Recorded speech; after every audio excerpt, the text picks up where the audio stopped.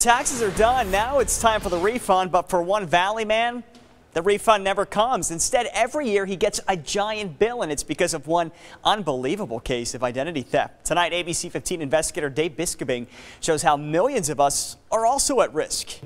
Yeah, yes.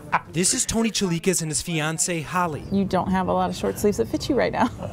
and they're getting married in July. We've been engaged since uh, 2016. But their walk down the aisle will only be symbolic. Tony refuses to make it legally official. I can't let her sign the paperwork Yeah, until this is done. And it's because of another man. This man, Jorge Campos Ramirez. It's a sensitive topic. We asked Tony about it separately. No, this isn't some messy love triangle. It's a tax triangle, one of identity theft that's messed with Tony's life for a decade. In a word, what's it been like trying to get this resolved? Hell, this is the worst thing that's ever happened to me. So, how did this start? Well, in 2003, Tony lost his wallet. I was a dumb kid and I kept my social security card in my wallet. Then in 2006, during a traffic stop, Tempe police found Jorge Campos Ramirez had Tony's information on a payslip. When questioned, he said that that time slip card was his. Ramirez admitted to using Tony's name and social security number for work. He claimed someone sold him the information. Tony Chalikas is the victim of identity theft. Yes, absolutely. But Tony says it's not just Jorge Ramirez. At least 17 different people have my ID. 17? At least. There's a guy in California right now that ha- is using it at a bar. People earning money using Tony's identity, but not paying enough taxes. The IRS seizing his bank accounts and dumping him with huge bills. This one's for 9,000. Here's one for 25,000. That was 16. Here's one for 11. Actually almost 12. And they want all this money right away. This is a nightmare. Yeah, it really is. Tony even has a lawyer, but for years they haven't made a dent getting anywhere with the IRS. They want their money. That's their don't- they interest. yeah, they don't care about me. He may have a point, and here's where it gets scary. In this internal report, it says from 2011 to 2015, the IRS identified almost 1.1 million people who were employment related identity theft victims, but those victims weren't notified. What fixes this for you? Honestly, uh, another social security number. Let me start over. A fresh start for him and his future wife. Until this gets solved, we can't really move on with the rest of our lives. The IRS won't discuss anyone's specific tax information, but we are trying to help Tony sort all of this out. We have him in contact with the staffs of John McCain and Jeff Flake's offices and a special tax IRS advocate. And if you've had the same problems as Tony, I want to know about it. My contact information is at the bottom of the screen. I'm investigator Dave Biscobing, ABC 15. I, what she said was so key there. I'm not sure if you guys tracked that or not. She said, until this is solved, we can't move on with the rest of our lives. Uh, we're, we're in a series right now called Identity Theft. If you missed last week, um, it sucks to be you. Uh, it didn't get recorded. Uh, it was fantastic. Uh, it really was. God showed up. Uh, I'm sorry you missed it. Good talk.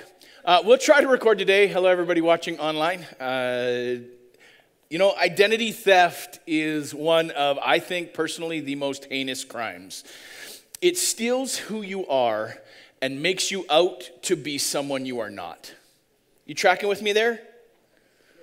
It, it steals who it is that you are and makes you out to be someone that you are not. Last week we talked about power that has been stolen from us and how you can take it back. Um, this, this piece of identity that I want to speak to today, which has been stolen from far too many of us, is our faith. Um, that if, if I, if, I mean, I'm not going to, but should I die in Africa? Uh, it's okay, Ma. I'm just saying. This is like this is one of those like should I die crossing the street things. It happens to any of us, right? Um, but should I die in Africa? I was like, oh man, what, what is it that I want to leave people with? Um, and, for me, it is live out a true faith. Um, For Jesus followers, man, the world has tried to make our faith into something that it is not. Uh, we, we, and as a result of that, we, we make slight changes to how it is that we live out our faith. Because in the world that we live in, uh, many people will, will brush us broad strokes and use terms like all Christians, they're, they're bigots, or all Christians are radicals, all Christians, you know, they're, they're haters. And so the temptation is, as a result of that, to take on a counterfeit faith, something that is just a little more palatable, something that is just a little more acceptable to the, in the broad scheme of things, a less true faith, a, a, more, a more private internal faith, which actually leaves us not being who it is that we truly are in our identity. And so I want to talk to you today about what James, the brother of Jesus, has to say about true faith. Now, he should know prior to Jesus coming back to life uh, from the dead, after uh, dying in the most grisly, horrible way on the cross, and then having a spear jabbed into his side just to make sure that he was dead, and then buried and, and, and put into the tomb. When he rose back to life, his brother, his half brother James, must have been like, oh, crap. You know, you know, when your brother calls his own death and then calls his own resurrection and comes back to life, you got to eat some major crow, right? And so poor James eats major crow and then devotes the rest of his life as a result of seeing his brother raised from the dead, devotes the rest of his life to living out a true faith. And, and, so, eh, what it is that he writes on here today is something that I think is extremely important for us to get around this idea of false faith. Um, in this passage, James talks about the difference between real and counterfeit Jesus followers. He talks about how you can have a true faith. Now, to be honest, this verse that we're going to look at today is probably the most controversial and misunderstood passages in the book of James. Um, every cult loves to grab a hold of this one. Uh, and in fact, uh, what it is that I'm going to talk to you uh, about today, I, really want you to get so that when those guys come knocking on your door, you'll be able to have a, a, a real conversation with them about what real faith is and, and to show that you don't have to earn your way into heaven. Now, now uh, it's so important that, that, you get what it is that I am, I am talking today about today. Um, for those of you who are just checking this thing out, and you, are not you're not really there on the whole faith thing. You're not even sure what you believe about the whole Jesus stuff. Um, I, I just I'm hoping that you will judge Christianity today by what it is that James and Paul, the two guys who we're going to talk about today, what it is that they say, rather than what it is that you may have experienced in other churches, what it is that you may have experienced from other so called Jesus followers. Um, uh, anybody who is not living completely like Jesus, will you judge the faith based on what it is that is seen here and, and maybe the heart behind the Christian message? Um, but here is the difficulty of this passage, and, and we're going to wrestle with this. It's a bit of a tension to be managed rather than something to figure out this morning. Um, here's the difficulty of it. What the, what the Apostle Paul, the leader uh, of many different churches, the, the starter of many different churches, the planter, most of the entire New Testament teaches that we are saved by faith alone. By grace, through faith, you are saved.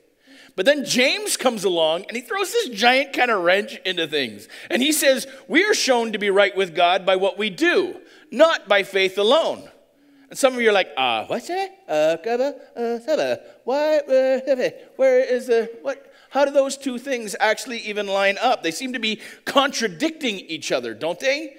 But in fact, man, they are both right. They're just talking about two different things. Paul was fighting the problem of legalism, the problem of I've got to keep all of the Jewish laws and I've got to do all of the right things and I've got to get everything right. And so he is dealing with, with uh, legalism. That's what it is that he's trying to fight. Whereas James, he's not trying to fight that at all. He's trying to fight laziness.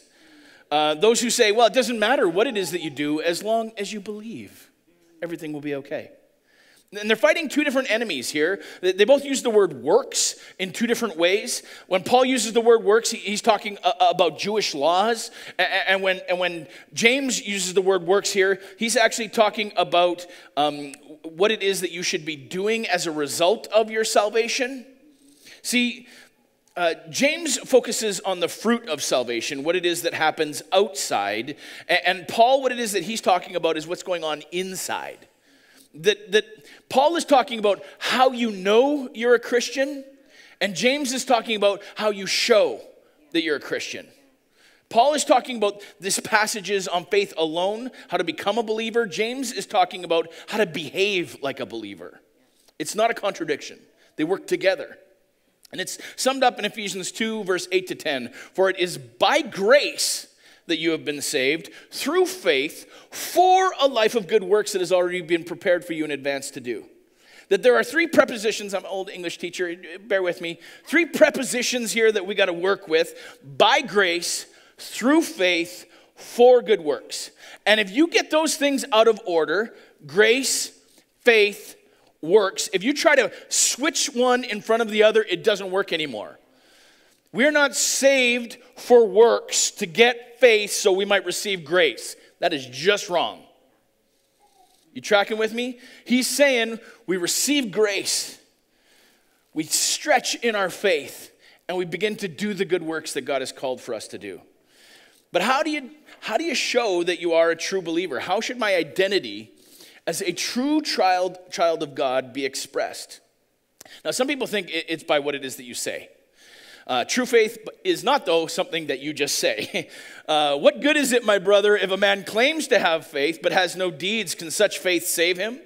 It doesn't say he actually has faith, it says he claims to have faith. He talks about it, he knows all the right phrases, he knows the correct things to say. There are lots of people who claim to be Christians, right? In fact, 50 million North Americans claim that they've had a born again experience with Jesus Christ. But they aren't acting like it. They don't, you don't see it in their lifestyle. Today, we tend to label people as Christians if, they make the lightest, slightest sound of being a, a believer. But it's more than just talk in regards to our faith. Um, uh, not everybody, Jesus said this, and, and it keeps me up a little bit at night, and maybe it should you as well.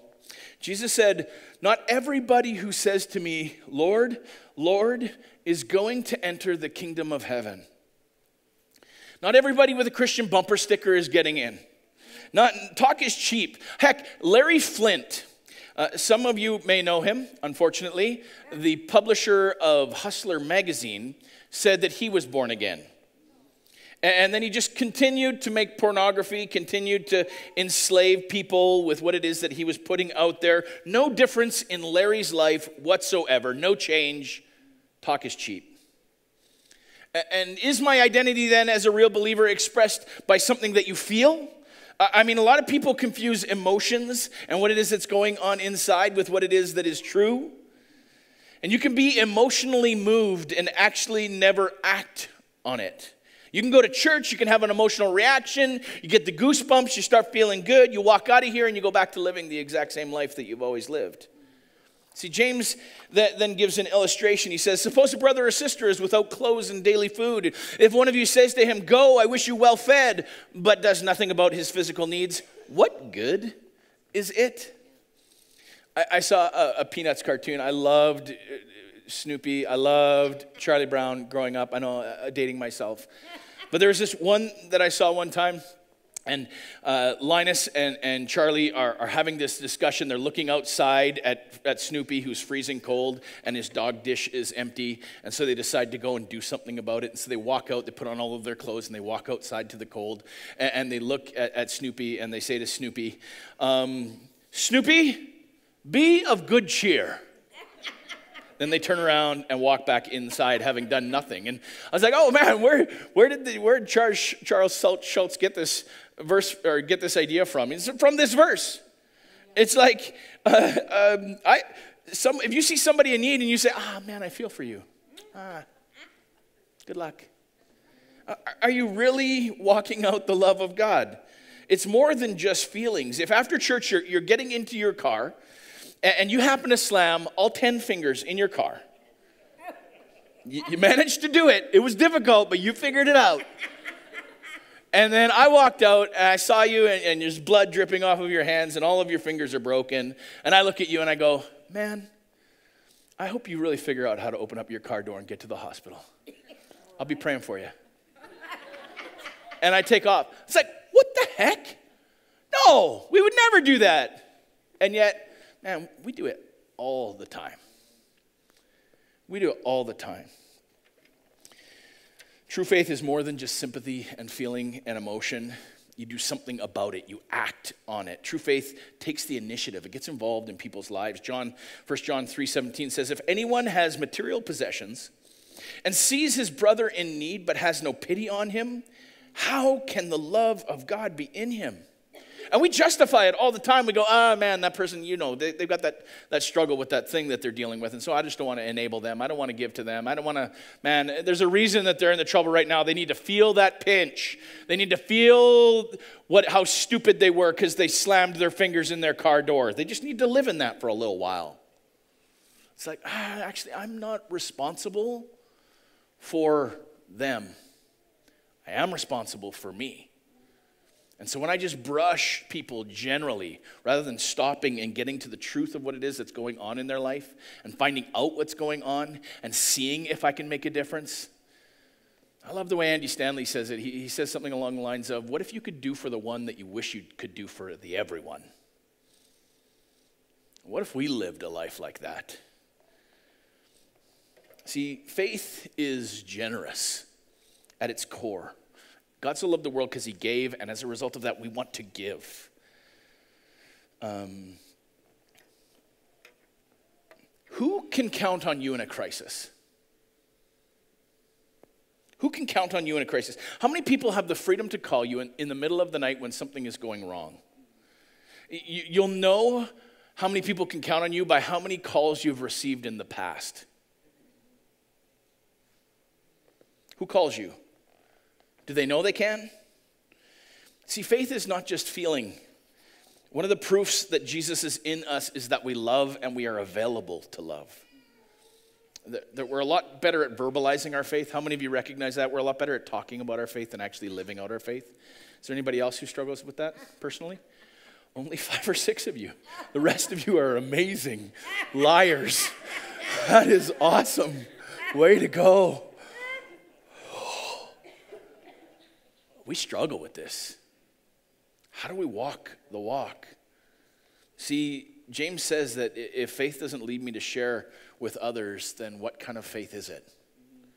He says in verse 17, in the same way, faith by itself is not accompanied by actions. Sorry, faith by itself, if it's not accompanied by actions, is dead. And you, you, should, you should question. This is getting a little awkward here this morning, but I'm okay with that because I'm going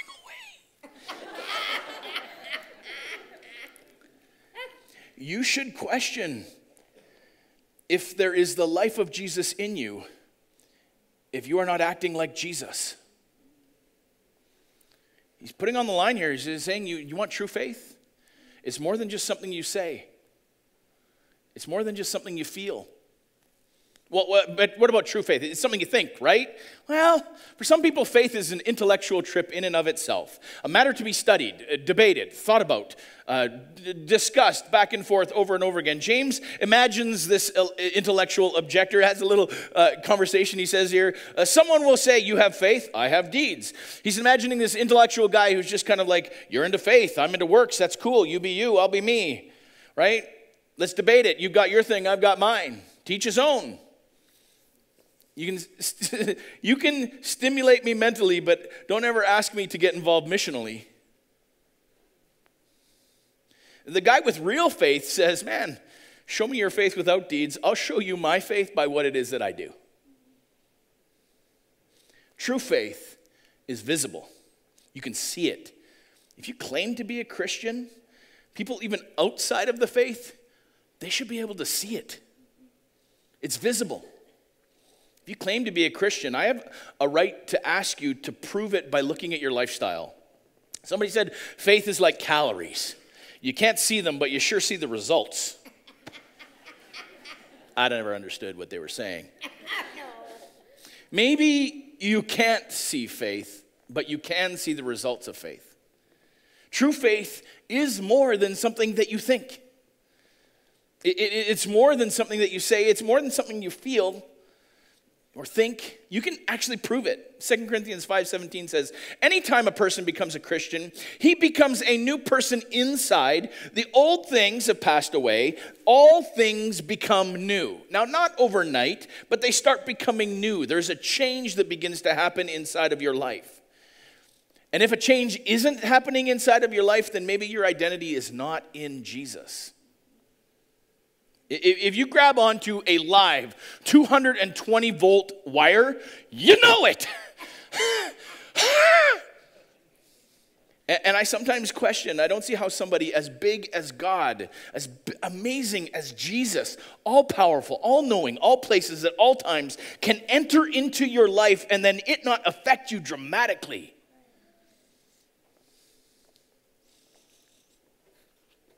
If it doesn't change, if nothing changes in you, there's a question Is he really in there then? Have you given him everything then? What, what I can see in my life, what can I see in my life that should prove it? I, I love Jimmy, Jimmy Carter's book. Uh, he wrote a book called Why Not the Best. Um, I love what it is that this guy did in terms of humanitarian aid, in terms of political uh, unrest. He, he, he has a quote in here one time uh, that says, One of the things that was a turning point in his life was when somebody asked him the question, If you were arrested for being a Christian, would there be enough evidence to convict you? It's a good question. Makes me a little uncomfortable at times. See, true faith always produces change. You'll see some changes in your life. True faith is not just something you say or, or do or, or think or feel, there's something deeper. It's not even just something that you believe. You're like, oh, what are you, what, are you serious, Frank? You? you believe that there is one God good. Even the demons believe that and shudder, is one verse. See, there are a lot of people who have strong beliefs in God, about the Bible, about Jesus. They can recite creeds to you and doctrines and prayers and, and quote Bible verses. And James says, big deal.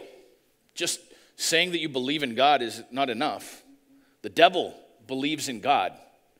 The, the devil is a great theologian. He knows a lot more of the Bible than you probably do.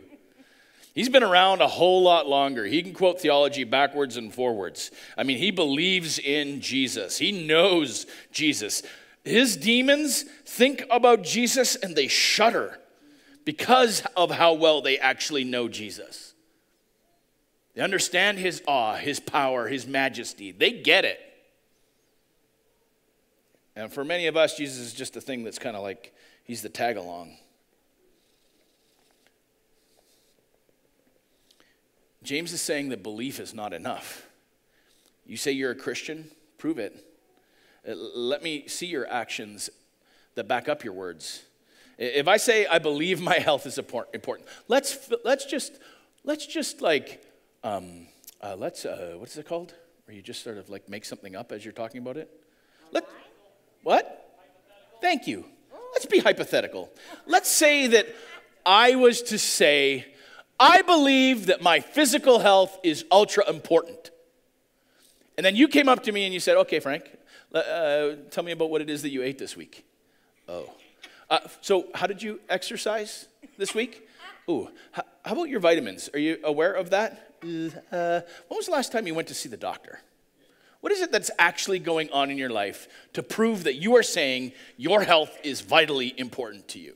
And that would be fair of them to ask me, wouldn't it? If I'm saying that my health is important to me, it would be okay for them to ask me a few questions to see if that actually backs it up, wouldn't it be? See, um, we all know what counts is my actions as a result of what it is that I believe. The word believe that James uses here is the Greek word which means to trust in, to cling to, to completely rely on, and to commit yourself wholeheartedly to. You are a Christian as a result of your belief in Jesus, but your belief is supposed to be something more than head knowledge. Some say, I, I, believe in God, and James says, big deal, what do you do as a result of it? Everybody believes in God. How do you have a, a creation without a creator? Lots of people believe in God. But have you committed yourself completely and totally to Jesus? To a true faith? Because it's not just something you say, it's not think, believe, whatever. We know it's something that you do. In the next couple of verses, James he gives two illustrations to show the difference between uh, faith being something that you actually do and faith not being something. Uh, uh, faith is active, it's not passive, it's a commitment that leads to compassion, to action. And two illustrations of two very different people. He gives us this, this idea of Abraham on one side and Rahab on the other side. Two exact opposites in the, in the ways of life, if we're honest. I mean, Abraham, this patriarchal father figure, right? And Rahab, this woman, prostitute, the, the low of the low in the eyes of the religious. Um, and he uses these two illustrations. He says, doesn't matter who you are as long as you've got the, the important thing. They had the one thing in common that was faith, real, true faith. Their faith in God led them to something. Verse 20, it says, You foolish men. Do you want evidence that faith without deeds is useless?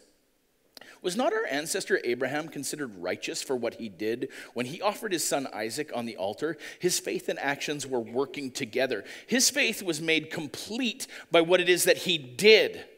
Scripture was fulfilled when it said Abraham believed in God. Well, how do we actually know it? How do we know he believed in God? Well, we saw it. He behaved as though God had complete control over his life.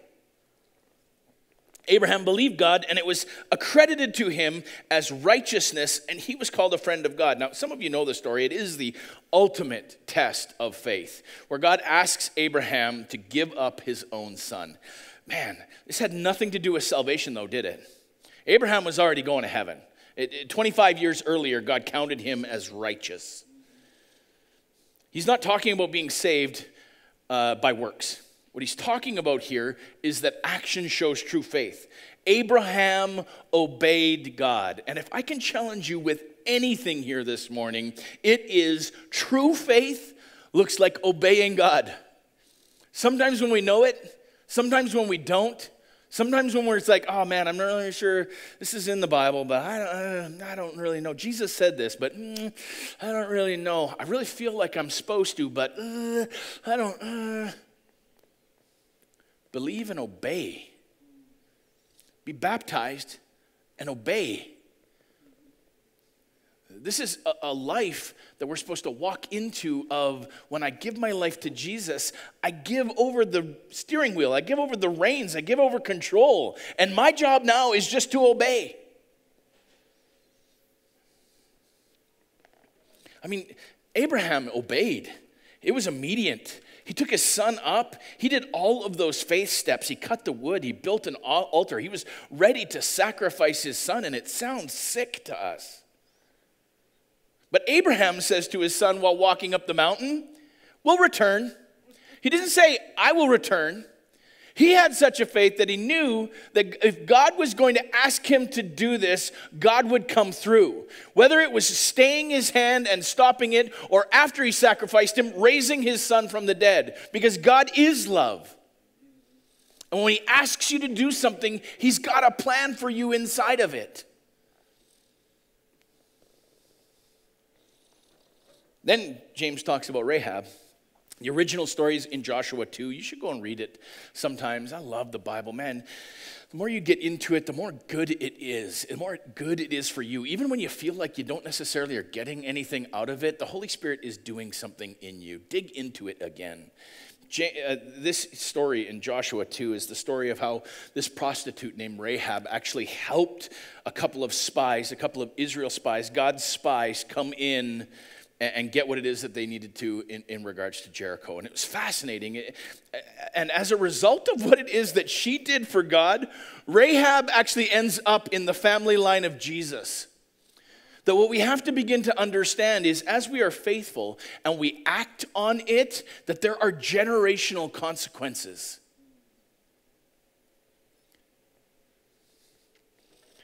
That, that there were int- intentional blessings coming. God was organizing things, and she may not have even understood what the heck she was doing. But when you are faithful and you act on it, God moves. See, our faith is not determined by what we do, it's demonstrating It's demonstrated by what it is that we do. Your identity is a faithful, obedient child of God whom he loves and adores. You can be completely forgiven, completely in Christ. But then it's actually time to act like it. God says to you, man, talk is cheap. Put your, put your money, put your time, put your energy, put your life where your mouth is. You say, I believe in Jesus. That's cool. Prove it. Our faith is demonstrated by our actions. Actions speak louder than words. Show me. 2 Corinthians 13 5 says, Examine yourselves to see whether you are in the faith. Test yourself. Check yourself out. See if you're really a believer or not. Do, do you live from your head? I, I know, I believe. Does that actually shift to your heart? Yeah, there's a change that happens inside of me. I receive love, I receive healing, I receive forgiveness. And after head, heart, it moves to the hands, where you actively live out a life that is completely submitted to Jesus.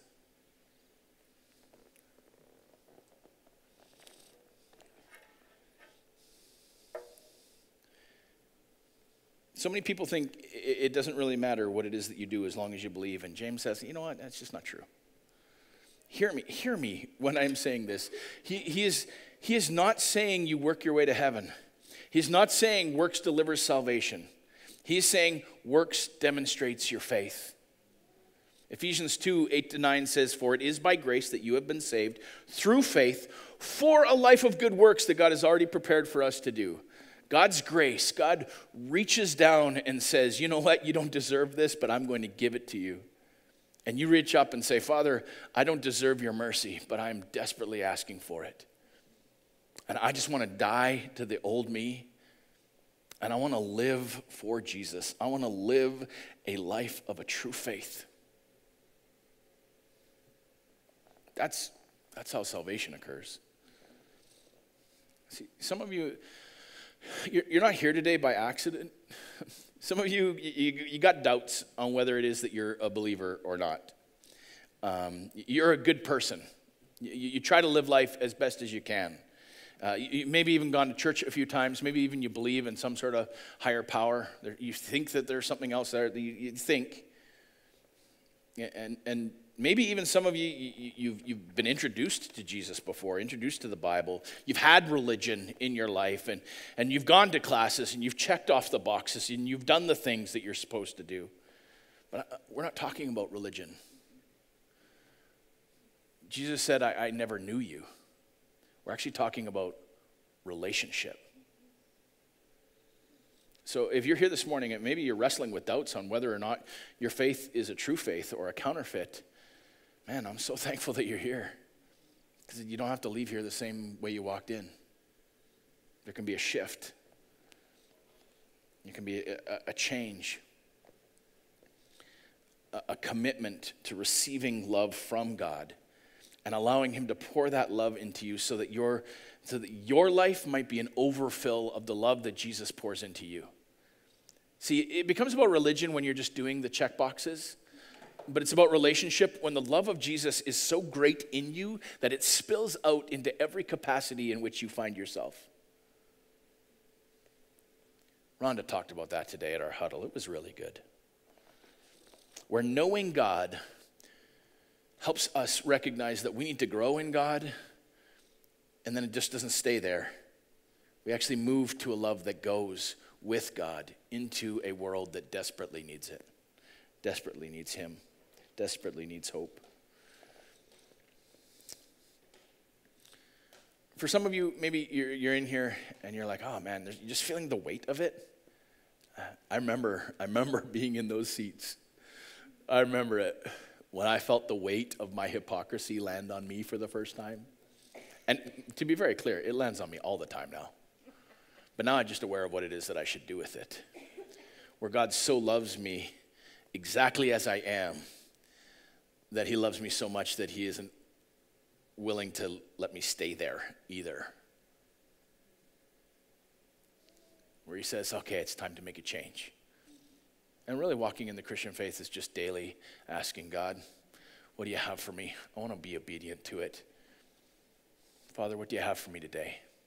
Father, I, I screwed up yesterday. Please forgive me.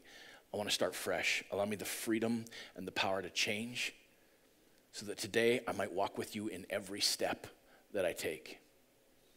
Maybe some of you are here today and you're like, I, have never even experienced this. How, what, how do I, what, what is it that's involved in this? Well, can start with a prayer. But to be very clear, I know way too many people who prayed a prayer once and think that that's faith. It's not, as we learned today. It's a starting place, it's a launch pad. I'm going to pray. Maybe you want to join me in it. Jesus Christ, I want to give you every area of my life. And as best as I know how, I am just saying, no more me, more of you. I want to give myself fully and completely to you. I want to learn more about you, God. I give you my past, all of the stupid choices that I have made, all the times where I've denied you just by walking like I'm not with you. Will you just forgive me for that? I ask you to take it all my life, the dysfunction, the issues, the problems, everything that is currently facing me. You get it all. I want to change. I want to be made new. I'm going to, from this day forward, just ask you to make me new, that I might rely on you in every situation that I'm in. Will you help me to grow? Will you help me deal with my past? Will you help me uh, find a, a sense of healing from the dysfunction that I've sowed into my life in the past? Take my life fully and completely and make me new. Let the past be behind me. Let the future be ahead of me, a future with you where I'm in daily submission to a life where I get to obey you. Help me grow. Help me to know that you want to change me. Help me to become more like your son. And help me show it in my life. Give me ways that I can obey. Give me opportunities to stretch my faith, to flex my faith. Help me be aware of how it is that the Holy Spirit is going to prompt me, and then give me the energy and the drive and the desire to want to be obedient to you. I want a true faith. Please empower me for that, Jesus. In your name, amen. You know, if, if, uh, if you prayed that prayer recently, maybe, where you just, you just said, I, I don't want to live for me anymore. I want to live fully and completely for Jesus. And one of, the, one of the first steps of obedience is to be baptized. When you are ready to give it all over to God, when you are like, I want to die to the old me, that's really what it is the baptism represents. Dying, you go into the water, the old you, you come up, out different. Kind of like what Jesus did. Jesus went into the grave and was there, and he came up out of the grave different. Baptism is a great way to symbolize that, and it's a first step of obedience. We're going to have some baptisms next week. Uh, for those of you who are like, man, I, as best as I know how, I don't have it all figured out, but I want to live for Jesus, and I recommend you be baptized. Um, you can sign up at the info booth uh, as you're heading out, and uh, somebody will contact you. And then next week, we're doing some baptisms. Is it next week? Somebody confirm that for me? It is. Uh, that's exciting. Oh, I'm bummed I'm missing it. Stupid Africa. No, uh, I'm going to be great too there too. Uh, somebody will video it. Um, if you have, have found any sort of, of benefit in, in these sessions on identity theft, then maybe ask God who it is that you think might benefit from this as well. Who it is that you can invite uh, to be a part of, of seeing them become themselves again, the true self that Jesus would have for them. Have a fantastic two and a half weeks. Go and be a blessing while I'm gone. Be blessed.